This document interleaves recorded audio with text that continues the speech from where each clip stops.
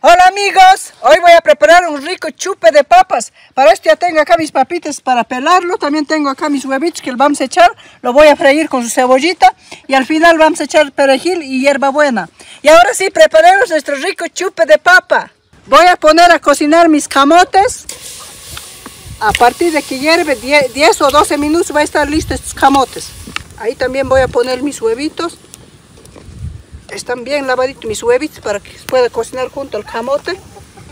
Y en esta otra ollita voy a cocinar mis choclos o elote le llaman en otro sitio. Ahí vamos a esperar que se cocine nuestro choclo, nuestro camote y el huevo. Mientras tanto estoy dando cortes acá a mis truchas para echarle sal.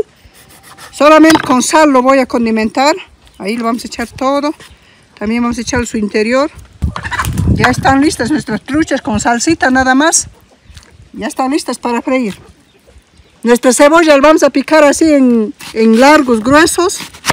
Así de esta manera. Para hacer nuestro encebollado.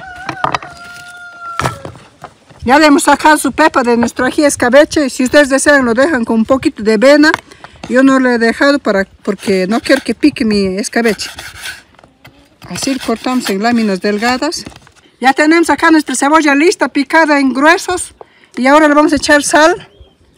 Yo lo condimento antes para que ya esté cogiendo el sabor de todos los condimentos. Ahí le vamos a echar pimienta. Vamos a echar comino. Y por acá le voy a echar 5 cucharadas de vinagre tinto. Ahí va a ir tomando todo el sabor del vinagre, de la sal y de la pimienta y del comino. Y ahí vamos a removerlo. Y ahora sí vamos a freír nuestra trucha ya. Voy a empanizar mis truchas con harina para que no se pegue en la sartén.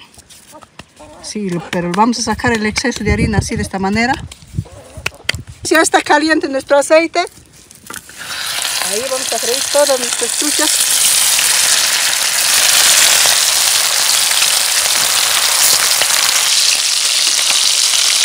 Vamos a hacer ya nuestro aderezo para nuestro escabeche y ponemos ahí una cucharadita de ajos. Molido puede ser también o puede ser también picadito. Vamos a esperar que dore también he hecho tres cucharadas de ají amarillo o ají escabeche. Echamos también el ají panca para que haya dore junto del ají amarillo. Cuando ya está doradito echamos un poquito de sal recuerden que ya echamos a la cebolla por eso ya no echamos mucho. Y ahí echamos también las ají escabeche en láminas delgadas y ahí esperamos que se dore durante un minuto nuestra ají escabeche. Y ahora sí también echamos nuestra cebolla que ya está condimentada.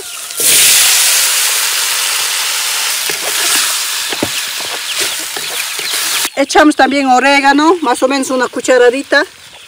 También ahí voy a echar caldo de pescado, de esqueletos y de cabezas. Si no tienen caldo de pescado pueden echar la agüita. Y ahí vamos a tener un minuto más. Ya hemos terminado de hacer nuestra escabeche, ahora vamos a servir. Ya he servido acá sus lechuguitas, sus camotes y sus choclos. Ahí está bonito sus lechuguitas para que adornen. Y ahora sí vamos a servir nuestras truchas acá. Ustedes lo pueden hacer con cualquier otro pescadito que tenga bastante pulpa, que tenga bastante carne. Así lo vamos a. Así lo vamos a acomodar ahí. Ahí nomás ya. Y ahí lo vamos a echar su salsa de cebolla.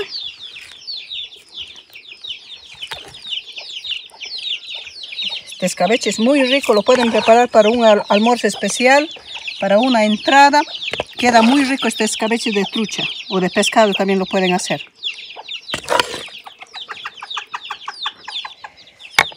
Ahí lo vamos a adornar con su huevito. Vamos a poner sus aceitunitas. Y así me ha quedado mi plato, muy bonito. Este, así lo pueden hacer, preparar ustedes también. Individual también lo pueden preparar para cada persona. Espero que lo hagan, que les haya gustado.